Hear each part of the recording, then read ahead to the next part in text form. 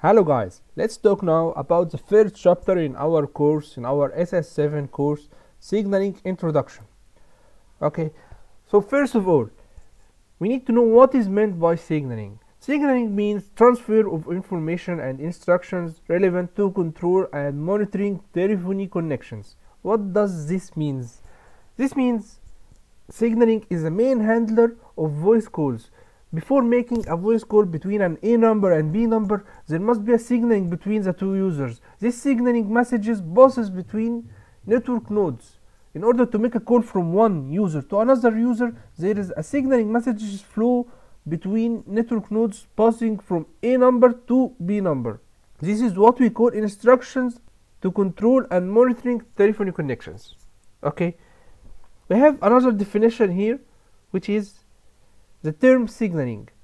When used in telephony, refers to the exchange of control information associated with the setup and release of a telephone call on a telecommunication circuit. Let's give an example of a signaling here. Let's assume that A number is going to talk and call B number. Okay, what should A number do before making a live connection between him and B number? A number must first know the location of the B number, where it exists in the network. This is the first thing. A number must authenticate to the network first before making any call to make sure that this A number is eligible and authorized to access the network normally. Third thing, A number must make location update to make the network able to route him to the B number. This is what we call about signaling.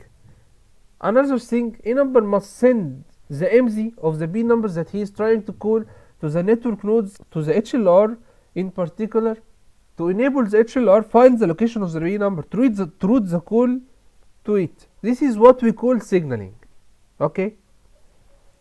We have another definition here for the signaling system. Signaling is a set of telephony signaling protocols which are used to set up network telephone calls. Example of signaling systems SS7 that we are going to talk about today in our course and high speed link HSL and SIGTRAN. SIGTRAN is a SS7 over IP.